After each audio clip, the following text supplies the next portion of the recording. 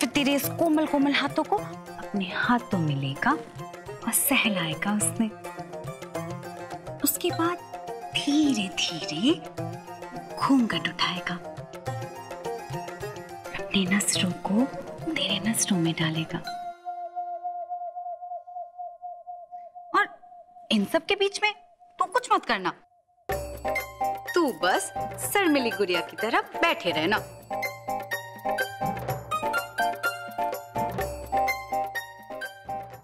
फिर तू बाहर जाएगी और खुद ही सगाई के लिए मना करेगी।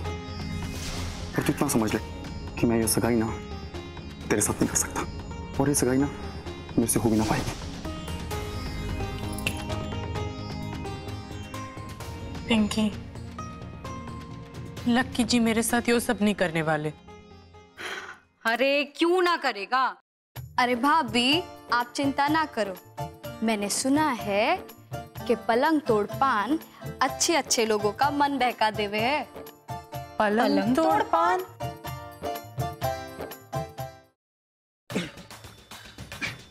ये देखो भाई खास आपके लिए पलंग तोड़ पान मंगवाया से। पलंग तोड़ पान बड़ा ही मशहूर पान है। यो अरे एक सौ चौसठ एक सौ पैंसठ एक सौ छियासठ। भाई और ये दूसरा पान? यो दूसरा पान तो सादा पान से ये तो लकी भाई के लिए। इन्हें पलंग तोड़ पान की ज़रूरत ना से ये तो बाय डिफ़ॉल्ट ही बड़े रोमांटिक किस्म के से पलंग तोड़ पान की ज़रूरत तो राणा भाई को पड़ेगी। अरे एक सौ चौरासी एक सौ पचासी एक सौ छियासी। बनारसी पान तो सुना था मन ने पर यो पलंग तोड़ पान के होता है और नाम भी बड़ा अजीब से तने कभी खाया से पिंकी यो पलंग तोड़ पान? ना ना मैंने तो नहीं खाया। अरे भाभी ये कोई ऐसा वैसा पान ना से बड़ा ही चमत्कारी पान होवे ये। खास कानपुर से पान वाले भैया आते हैं इस पान ने बनाने। और तो और मैंने तो यो भी सुना है कि इस पान की खासियत यो होवे कि जैसा इसका नाम से ठीक वैसा ही इसका काम से।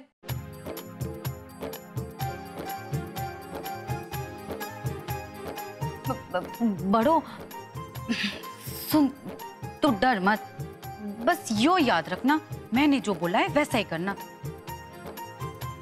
हमारा मतलब है, लक्की जी जो कहे, वही करना। वैसे भी पति की बात सुनना अच्छी बात है।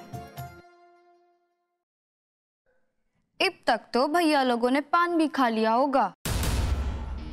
और कुछ ही देर में पान का कमाल दिखना शुरू हो जाएगा।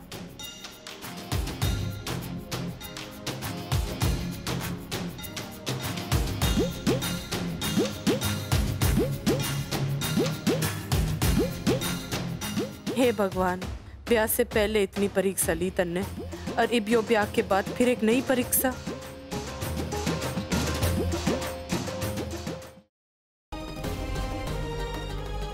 बचपन से आज तक, हमारे बीच जो कुछ भी हुआ, हमें बहुत शिकायतें रही तुमसे। लेकिन फिर भी दिल के किसी कोने में, तुम्हारे लिए वो प्यार ज़िंदा था। पर अब अब सब खत्म हो गया, सागर। सब खत्म हो गया, सुना तुमने? तुम्हारे लिए। हमारे दिल में उस प्यार ने दम तोड़ दिया आज। अब हमारे दिल में तुम्हारे लिए सिर्फ़ नफरत ही नफरत है और कुछ नहीं है। अरे बेटे तुम्हारा दिमाग खराब हो गया। बिना डॉक्टर साहब से पूछे तुमने दवा कैसे दे दी? ये क्या कर रहे हो बेटा? तुम्हें पता है कि वो माँ बनने वाली है? और इस तरह से कोई उल्टी सीधी दवाई दे दोगे तो लेने के देने पड़ सकते हैं बेटा। आप लोग परेशान मत होइए। अब टेंशन वाली कोई बात नहीं। लेकिन हाँ आगे से इनका ध्यान रखिएगा। शुक्र संतोषी माँ का कि हमारी हमारी बहू ठीक है।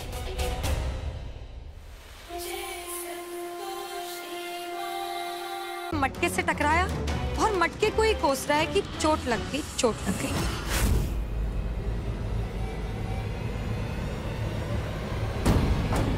चल यहाँ से।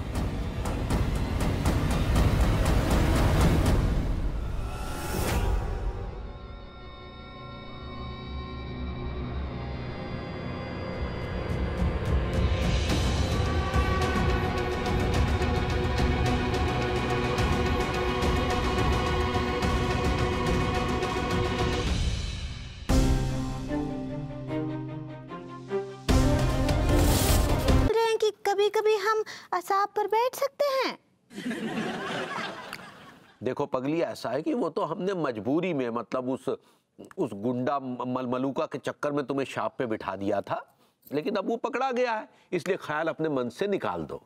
और वैसे भी तुम घर की लक्ष्मी हो घर की लक्ष्मी हमेशा घर में ही अच्छी लगती है हम शाप पे अच्छे लगते हैं।